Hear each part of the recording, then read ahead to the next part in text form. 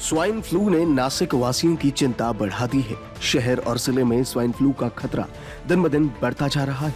नासिक में swine flu के तीन नए मामले सामने आए हैं। स्वाइन फ्लू से एक की मौत भी हो गई।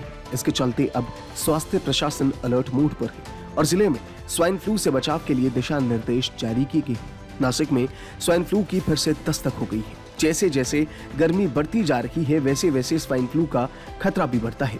स्वाइन फ्लू से एक व्यक्ति की मौत हो गई और दो अन्य लोगों का इलाज चल रहा है। सिन्नर में एक महिला की मौत हो गई, जबकि शहर में दो लोगों का इलाज चल रहा है। इलाज करा रहे मरीजों की हालत स्थिर है।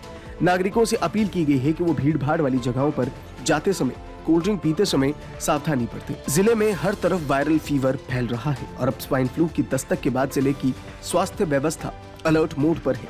अगले कुछ दिनों में स्वाइन फ्लू को फैलने से रोकने के लिए स्वास्थ्य विभाग ने ज़िले में दिशा निर्देश भी जारी किए हैं। स्वाइन फ्लू एक संक्रामक श्वसन, यानी कि रेस्पिरेटरी रोग है, जो इन्फ्लुएंजा ए वन वायरस के कारण होता है।